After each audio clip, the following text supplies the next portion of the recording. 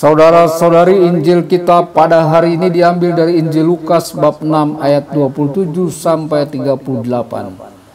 Yesus bersabda kepada murid-muridnya, Dengarkanlah perkataanku ini, kasihilah musuhmu, berbuatlah baik kepada orang yang membenci kalian, mintalah berkat bagi mereka yang mengutuk kalian, berdoalah bagi orang yang mencaci kalian. Bila orang menampar pipimu yang satu, berikanlah pipimu yang lain. Bila orang mengambil jubahmu, biarkan juga ia mengambil bajumu. Berilah kepada setiap orang yang meminta kepadamu, dan janganlah meminta kembali dari orang yang mengambil kepunyaanmu. Dan sebagaimana kalian kehendaki orang berbuat kepada kalian, demikian pula hendaknya kalian berbuat kepada mereka. Kalau kalian mengasihi orang yang mengasihi kalian, apakah jasamu? Orang-orang berdosa pun berbuat demikian. Sebab jikalau kamu berbuat baik kepada orang-orang yang berbuat baik kepadamu, apakah jasamu? Orang-orang berdosa pun berbuat demikian. Lagi pula kalau kalian memberikan pinjaman kepada orang dengan harapan akan memperoleh sesuatu daripadanya, apakah jasamu? Orang-orang berdosa pun meminjamkan kepada orang-orang berdosa supaya mereka menerima kembali sama banyaknya. Tetapi kalian, kasihlah musuhmu, dan berbuat baik kepada mereka dan berilah pinjaman tanpa mengharapkan balasan. Maka ganjaranmu akan besar dan kalian akan menjadi anak Allah yang maha tinggi. Sebab ia baik terhadap orang-orang yang tidak tahu berterima kasih dan orang-orang jahat. Hendaklah kalian murah hati sebagaimana Bapamu murah hati adanya. Janganlah menghakimi orang maka kalian pun tidak akan dihakimi. Dan janganlah menghukum orang maka kalian pun tidak akan dihukum Ampunilah maka kalian pun akan diampuni. Berilah dan kalian akan diberi. Suatu takaran yang baik yang dipadatkan, yang digoncang dan tumpah keluar akan dicurahkan ke pangkuanmu. Sebab ukuran yang kalian pakai akan diukurkan pula kepadamu. Demikianlah sabda Tuhan. Terpujilah Kristus.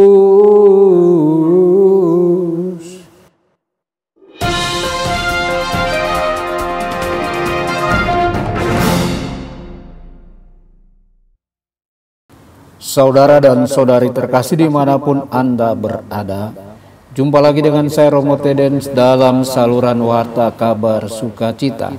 Semoga Anda semua di mana pun berada senantiasa dalam keadaan sehat dan bahagia. Saudara-saudari, dalam kitab Tobit di perjanjian lama, ayat Tobit menginstruksikan perilaku yang tepat saat ia mempersiapkan diri untuk melakukan perjalanan. Instruksi tersebut termasuk pernyataan ini. Janganlah kamu melakukan kepada orang lain apa yang kamu sendiri tidak suka.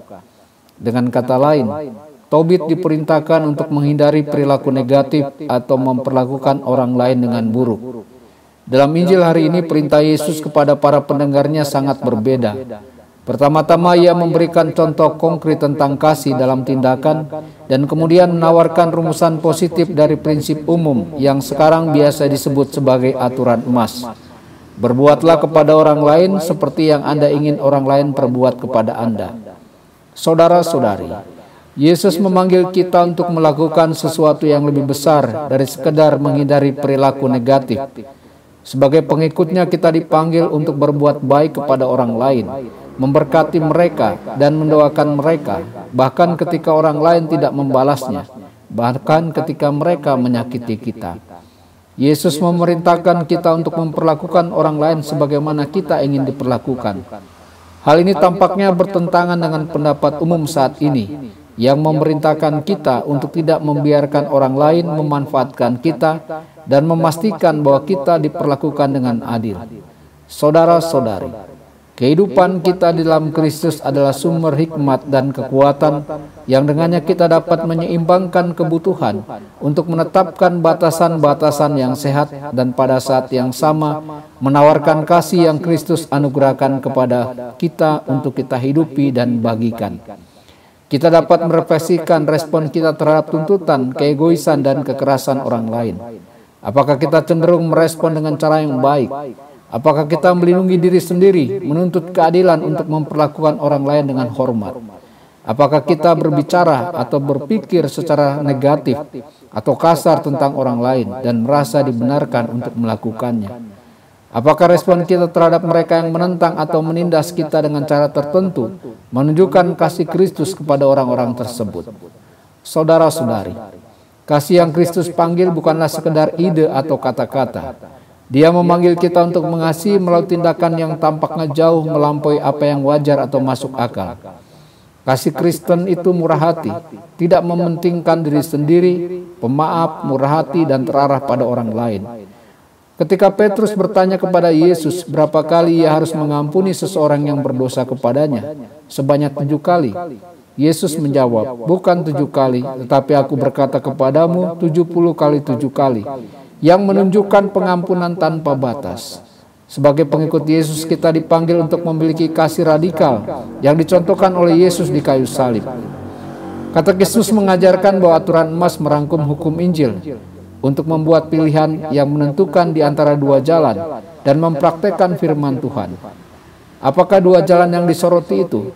Kita dapat bertanya pada diri kita sendiri, seberapa besar kerelaan kita untuk membuka hati pada kuasa Kristus yang mengubah dan melakukan semua yang kita bisa untuk membentuk diri kita dalam kebajikan sehingga kita dapat mengasihi seperti Dia mengasihi. Apakah kita bersedia untuk mengambil jalan sempit dan mengikuti jalan yang sering kali sulit untuk bertumbuh dalam kebajikan? Jika tidak, apakah rintangan yang menghalangi kita untuk mengikut Tuhan?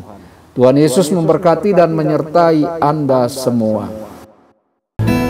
Sabda Allah adalah kebenaran. Sabda Allah adalah kehidupan. Mari kita mencintainya. Mari kita menghayatinya